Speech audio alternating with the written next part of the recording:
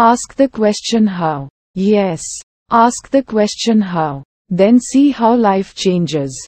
How do we love? How do we are you? How are we satisfied?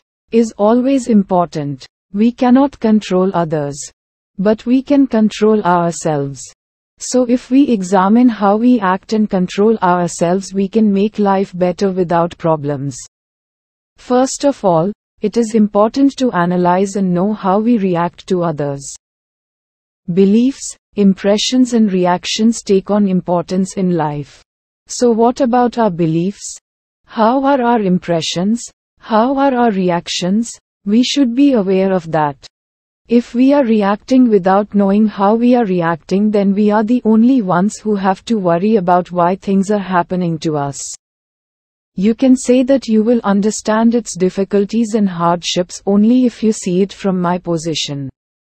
But in that situation, ask yourself how you think about that situation and how you keep your mind. Why think so? Why should you think so? Why take it that way? Ask and find answers to various how to questions. You will understand many things. What can we do about what others think of us? How can we determine what others approach us? But we can do one thing. We can think well of others we can better approach others. If we make this change in ourselves, the way others think about us and the way others approach us will become better. So try to ask the how question differently each time. See how your life changes after that.